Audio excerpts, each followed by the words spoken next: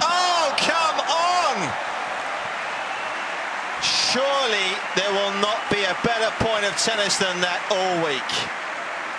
Absolutely outstanding. Incredible tennis. When Kontinen played the, sorry, John, it was Kontinen off this one, but he played the angle and Mark Lopez lined up around the post. He thought point over.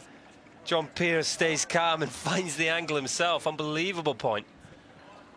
I mean, that's a contender for point of the season.